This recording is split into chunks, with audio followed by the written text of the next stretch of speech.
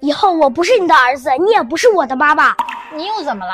还怎么了？你心里没数吗？我有什么数啊？前两天去姥姥家，你大包小包的，恨不得把超市都搬过去。昨天去奶奶家，你怎么什么都不买了？你可真是个铁公鸡，一毛不拔呀！你一个小孩子家家的，有你什么事儿啊？还有上次你给姥姥买衣服，怎么不给奶奶也买一件呀？你奶奶那不是有衣服吗？奶奶的衣服都穿了好几年了，你不知道吗？再说了，你妈是妈，爸爸的妈就不是妈了吗？咱们每次回去，奶奶都大包小包的给我们拿回来。你这样做，你的良心不会痛吗？你奶奶都没说什么呢。奶奶不说是因为爱我们。你都三十多岁的人了，这点道理你都不懂吗？你这孩子。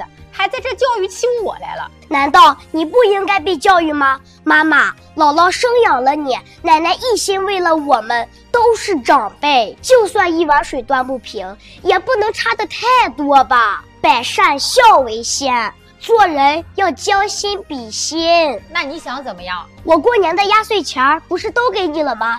你去给奶奶也买件衣服。妈妈，买件衣服花不了多少钱，却可以温暖老人的心。老人不图你什么，而是我们心中有他们。不要让爱我们的人寒了心。钱没了可以再赚，但是心凉了，可就捂不热了。